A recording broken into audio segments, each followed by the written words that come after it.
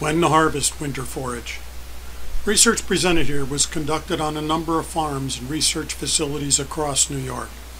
It could not have happened without the farmers, Extension Pro Dairy Specialist, Dr. Ketterings' Cornell staff, and especially the funding of the New York Farm Viability Institute. Winter forage has been expanding rapidly across the U.S. and Canada. Managing it for high forage yields gives all the cover crop benefits to the soil and environment while producing premier quality forage. It is a cover crop on steroids. Successful dairy livestock farms grow energy, protein, digestible fiber in sufficient amounts and low cost. Winter forage, especially triticale, fits all these criteria. The forage produces for the high-end fresh cows to maximize production in a high forage diet. Both farmers and nutritionists report timely harvested winter triticale forage when included in the diet keeps the cows milking in hot weather, minimizing the summer slump problem. All this while increasing the dry matter yield harvested by 25 to 35 percent.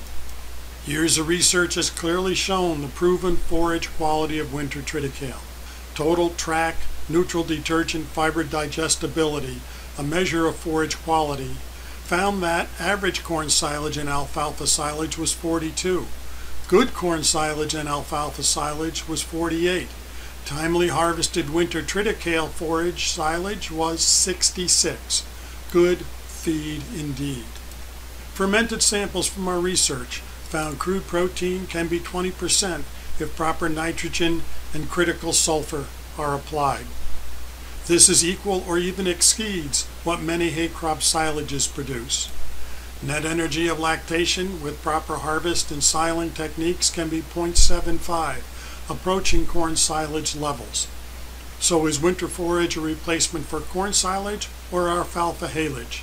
The answer is yes, it can replace either or both. The previous feed quality can only be achieved by timely and proper harvest techniques. We will cover proper harvest techniques in a future presentation. Now we will focus on the critical time of harvest. Dr. Cherney at Cornell University found stage of growth has a bigger effect on forage quality than the species of winter grain chosen. With winter forage, timeliness is crucial. For quality winter forage, memorize this picture. Stage 8 is when there's still a leaf rolled and emerging from the shoot. This is too early to harvest. Stage 9 is when the last leaf has fully emerged and unrolled with no more leaves to emerge. The head can be felt in the stem just below the last leaf. In our research, we saw little or no quality change between stage 8, which occurred on a Thursday, and stage 9, which occurred the following Tuesday. There was a 35% yield increase in that time span. Stage 10 is the boot stage, where we used to harvest when we were milking 12,000 pounds per cow. Now we are pushing 30,000 pounds per cow. We need to harvest at the higher quality at stage 9. If you need quality forage and are at stage 8, but facing a week of warm and rainy weather, go ahead and harvest rather than risking a delay.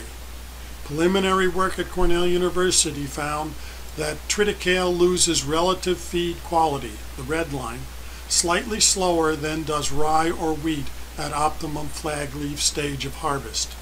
A very important wild card in timing winter forage harvest is the weather. In our 2010 research, the red line, quality decreased at a fairly rapid, steady rate as the season went on. In 2013 research, the green line, the quality held to the point that boot stage was almost as good as flag leaf stage of 2010. The reason for this is temperature. In 2013, at flag leaf time of May 13th, the temperature, especially night temperatures, were very cold. It was so cold that two hours north of the research farm, they had up to three feet of snow. This cold both delays maturity and conserves overnight the energy produced during the day. Thus, under these circumstances, a later harvest still could be high quality. If weather forces you to miss the harvest window entirely, the forage quality at late boot through milk stage is intermediate on protein, moderate on energy, a digestibility that will not inhibit intake for good heifer growth without getting the heifer's fat. so we can still use the forage. Winter triticale is a high yielding, very high quality crop. To get this quality to the mouth of the animal, you need to use wide swath same day haylage harvest system. This will be discussed in future presentation. For further information, go to the website advancedagsys.com. Thank you.